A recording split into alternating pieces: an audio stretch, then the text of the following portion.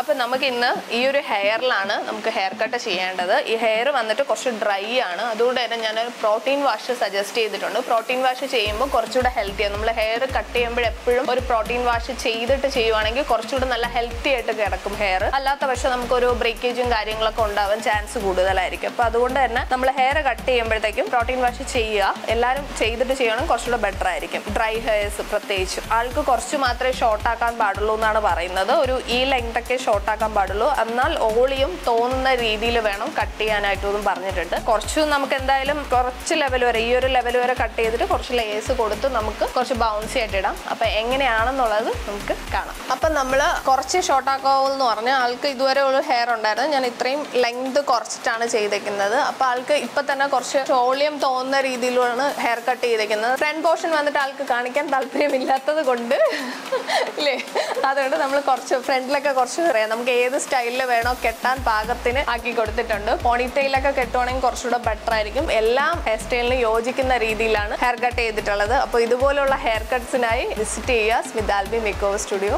by